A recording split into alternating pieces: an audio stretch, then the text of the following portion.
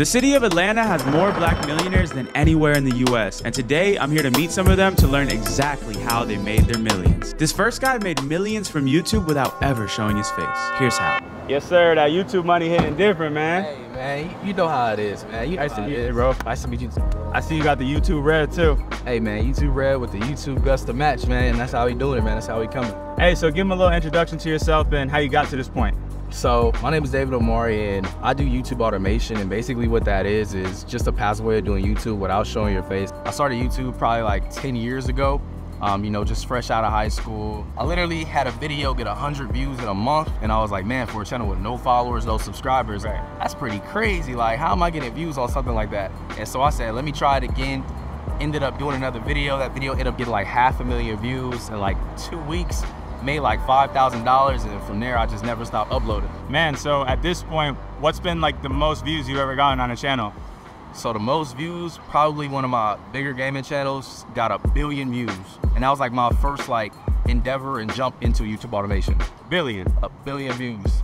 How much do you generate from a billion views? I'm gonna actually show you. Let me. Oh, you got the analytics on your phone? Yeah. Let me pull up the dashboard. Oh, you got the YouTube Studio loaded up. Let me click that. Let me let me show you that lifetime on this channel real quick, man. Show it to the camera. So on this channel with a billion views, $969,000. So about a million dollars just on ad revenue not even including brand deals, sponsors, and you know the extra stuff that come with YouTube. And that's not the only channel you have, right? Nah, I have mad channels. How many videos do you think you posted? I want to say anywhere from five to 10,000 videos. Wow. That's yeah. what it takes though. So I'm walking on the street and OG comes up to me, he tells me he got a story. Tell me that story of how you got to where you're at today. Well, I took $300. Within six months, I built a multi-million dollar business in Richmond, Virginia. And what was the business? And the business is construction. I do design and build for the government. I do a lot of top secret stuff. You got over a million dollars in cars? I got a million dollars in cars. you got any piece of game for any entrepreneurs that's just getting started? I would tell them like this. If you're gonna start a business, keep it to your heart. Don't go out there and let everybody know because you got haters out there. That's the power of Atlanta, man. You walking on the street, you might walk up a black millionaire on the sidewalk, man. It's like, you would never exactly. You serious? Yeah. Oh, and by the way, this is Tez. He's become one of the youngest millionaires in Atlanta at just 23 years old, so I had to ask him how he did it. So can you tell me the story of how you actually made your money? I primarily focused on starting with a side hustle because I didn't know what I wanted to start with. So I started selling do-rags. I delivered them locally in Cleveland, Ohio.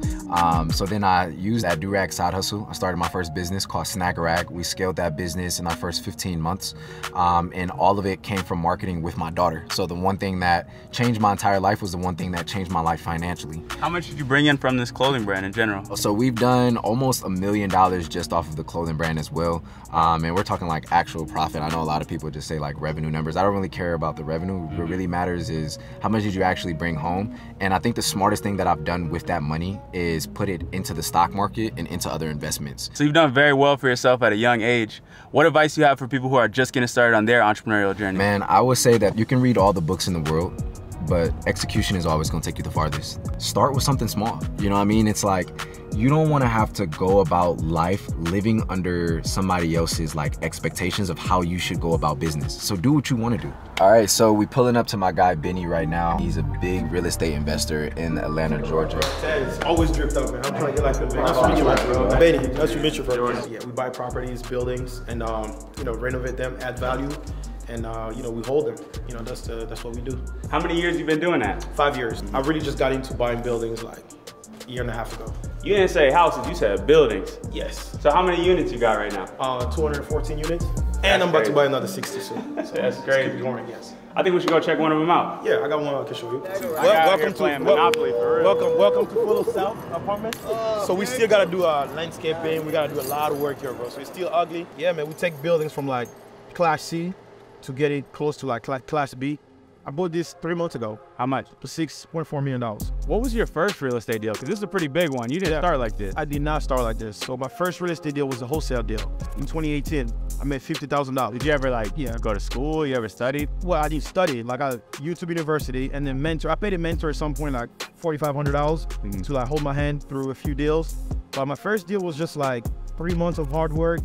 Finally find a good deal, sold it to an investor for an extra 50K I made fifty thousand dollars and never looked back, man. Yeah, a lot of people don't know this about real estate, but you said you paid what you paid for this building, but you didn't come out of pocket. No, I did not. You know, kind of like when they say your network is your net worth, it's real because me, uh, over the last five years, as I'm in real estate, I also connected with a lot of people, not only in real estate, but in various industries. I raised the, the, the down payment that I need. In this case, I needed $2 million to put down. So I raised the down payment and I pay back my investor the down payment plus the interest in two years. And that's how I buy them out the deal and I keep the deal for myself. Yeah. It's a solid strategy. You just have to find the deal and find the Just people that can fund it. What's the most you made in a month? The most I made in one month was a million dollars. Wow. Not just from rental income, from like all real estate operation. Let's see who we meet up with next. All right, bro. So this next guy Yeah. is the most known person in Atlanta when it comes to entrepreneurship, bro. Craziest crib, craziest car collection. You gotta go check it out, bro. Hey, make sure you hit that subscribe button too, because we are this close to a million subscribers, and I'm sharing some of the most interesting stories on the planet. And the best part is, all of these people have come from completely different backgrounds. So it goes to show that no matter where you come from, you can do this too. So if that's your goal, hit that subscribe button. Let's go see what he's got going on. Got the cars out front. Yes, sir. What's going on, boss? Nice to meet you, bro. Man, nice to finally meet you. Nice to finally meet you. It's a beautiful house you got here, man. Tell the people a little bit about what you do and a little introduction to yourself. My name is Marcus Barney, also known as Him 500, and I've been an entrepreneur for since I was 18. Got my real estate license at 18, mastered a lot of different industries, on Boost Mobile stores, you name it. Just a serial entrepreneur that has mastered bootstrapping from leveraging capital from the bank, turning credit to cash, and starting multiple businesses. Well, thanks for having us at your crib today, man. This is probably one of the baddest cribs in Atlanta. How much this one run you? It's definitely one of the best in Atlanta. Um, they coming though. It's a lot up and coming homes. Uh, this one was five million. And you got the cars on deck. Can you talk to me a little bit about your cars and kind of how much this whole collection is worth? Um, the total collection, I don't even know, honestly, bro. like, because everything came from like different moments. Yeah. Like, this was my, this was a gift um, for my wife on our wedding day. This was a present for my 30th birthday. Um, I bought that when I had my first million dollar day. You said a million in a day. A million in a day. That was my gift for myself for making a million in a day. How did that feel? S- surreal, surreal. I didn't know if it. I didn't know it was possible. I remember just hoping to make a hundred thousand dollars in a year, and you know, I just started mastering different business systems, marketing, advertisement. And when you create a business system and an infrastructure, you realize that it's a numbers game, and it's just inputting. And I'm, I figured out a formula. The numbers hit, and everything came out, and you know, that's one that always remind me of that. Most definitely. You Yeah. got the you got the uh, recession-proof smart car right here. Yeah, yeah, yeah. So the smart car is probably the most significant to anything that's here. This is what kind of founded the blueprint to my online footprint. So I always keep a smart car Yeah. just because I don't ever want to forget. And I drive it around town for I was gonna say you marketing. be driving it. Yeah, yeah, I drive around town for marketing. So whenever somebody see me, they gonna see me in that, or they see my blue cars because of the staples. Part of the brand. It's part of the brand. Man, so living in a house like this must feel nice. But what was the house like that you grew up in? I come from a place called Stockton, California, and it's a project that we grew, my family was raised in called Conway Homes.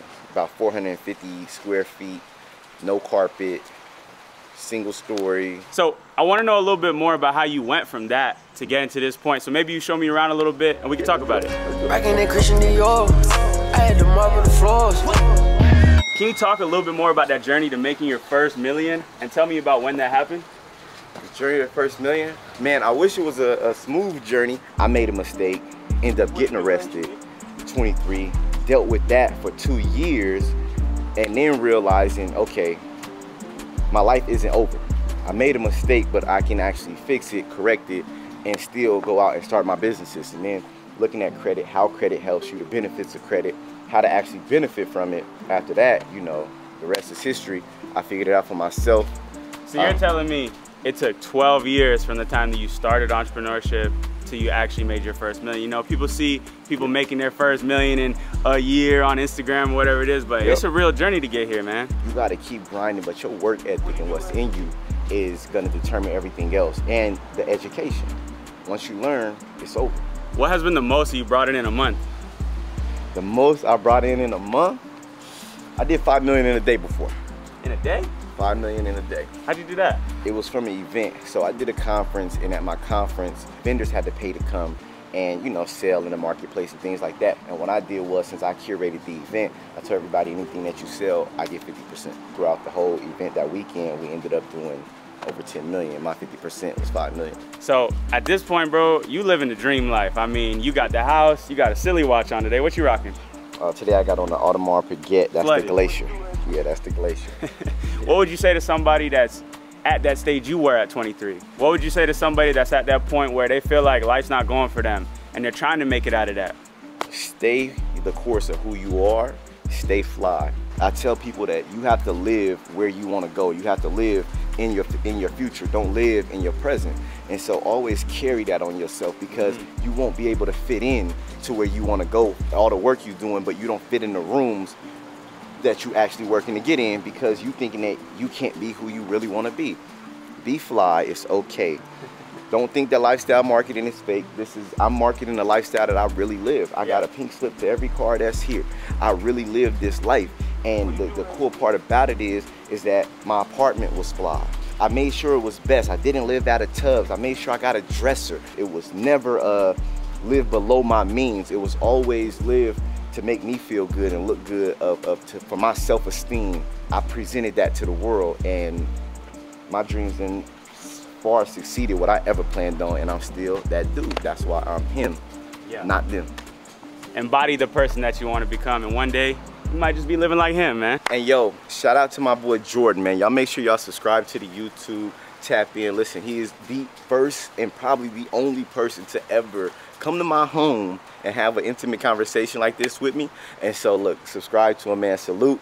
Keep working. Let's go.